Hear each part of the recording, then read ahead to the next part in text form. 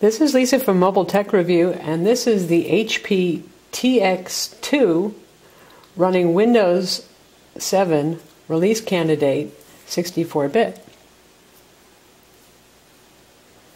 Now, what's interesting here is this is the TX2 that's available in stores. It's the 1020 US pre configured model, sells for about 1,000 to $1,100. But it's one of two notebooks on the market that have active digitizers. That means you can use the pen for precision and for pressure sensitivity in certain applications, and it has a capacitive multi-touch screen like the iPhone. The other notebook that has this is the Dell XT2, a considerably more expensive notebook. But we're going to show you the new features in Windows 7 that make use of touch and multi-touch out of the box. It doesn't take any add-ons. It doesn't take HP TouchSmart software to make this happen.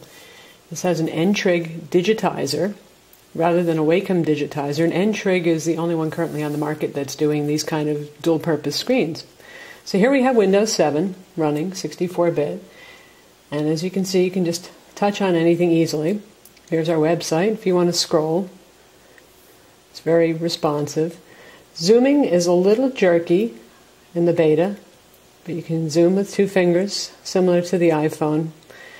And if we click on a page to go to another page, we can see the back forward motion. If you want to go back a page, there's no need to hit the teeny little back button here with your big fat finger. You can just go that way. And it shows you a preview of the previous page. If you had several pages, it would show you a choice similar to what Nokia phones do. So that was Internet Explorer 8, which has this functionality built in just like the operating system. Let's take a look at manipulating some pictures.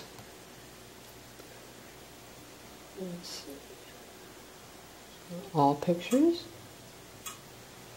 take a look at sample pictures.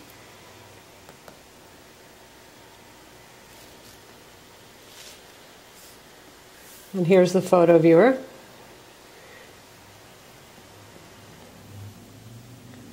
Zoom out.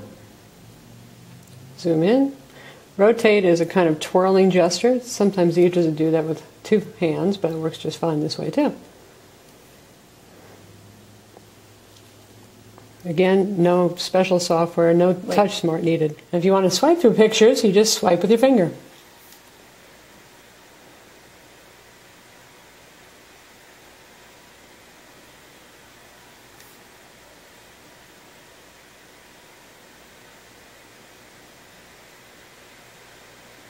Since this is Windows 7 Ultimate, that's what the release candidate comes as, we're going to take a look at Windows Media Center, which is included.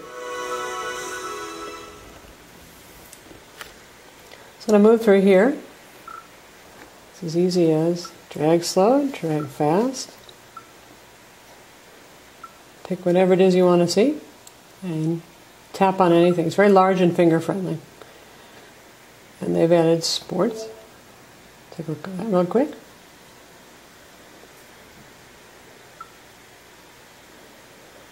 It automatically hides the controls. Just tap on the screen to bring them back. You can either go back one step, or if you've gone several steps into an option in Windows Media Center, you can just hit Windows Media Center button right there to get back to the main menu. Again, very easy to control with the finger. And we'll take a look at Firefox 3.5 Beta, which supports Windows 7 and touchscreen features.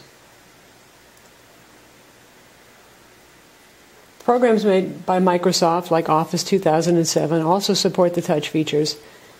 No need to add any additional software. To get Windows running on this with the touchscreen drivers, we installed the 64 bit release candidate and then we downloaded the drivers from N-Trig's website. They have drivers ready right now, so if you buy one of these tablets and you want to run Windows 7, you can do that.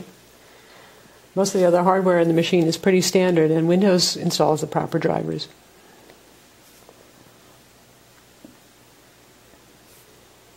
Here again, you have scrolling. Works a little bit better in IE than it does in Firefox, but it's got inertia, so faster you scroll, faster it moves, or you can do it very slowly. so you're reading through it. Last thing we're going to take a look at is a program that's going to show you the multi-touch features. This supports up to four contact points simultaneously.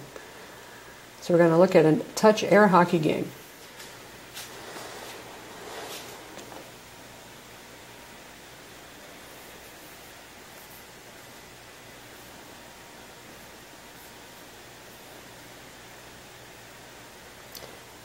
And you can even have a third touch point, go underneath the taskbar.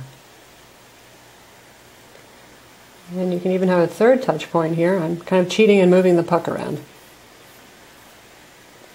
And I scored.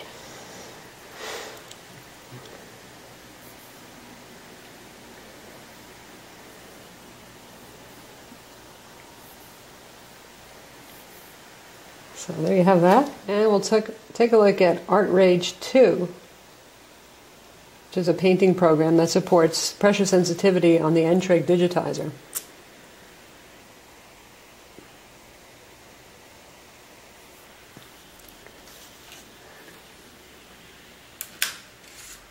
So first we'll use the digitizer pen. It's an active digitizer and it has palm rejection. So once it senses that you're using the pen and you see your cursor on the screen, you can rest your hand on the screen, no problem. We're going to draw a light line, and then we're going to press heavier and get a big fat line.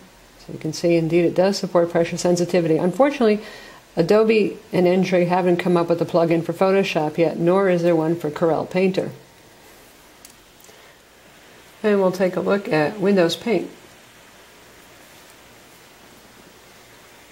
One, two, four.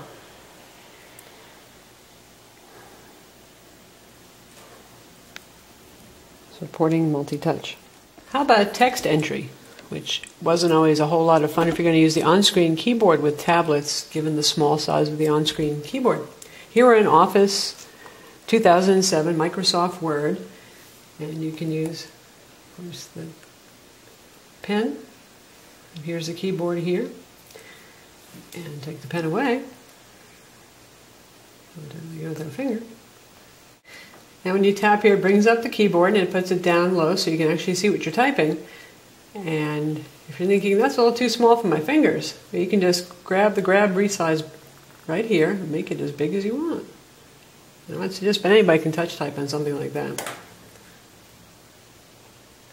And since this is multi-touch, you actually don't have to worry about if you get really fast at typing and you hit one key and then the other, you can actually deal with the overlapping gestures. So this is Lisa from Mobile Tech Review, and this is the HP TX2 running Windows 7 release candidate, 64-bit. Visit our website to read the full review and to see lots of pictures of the actual notebook.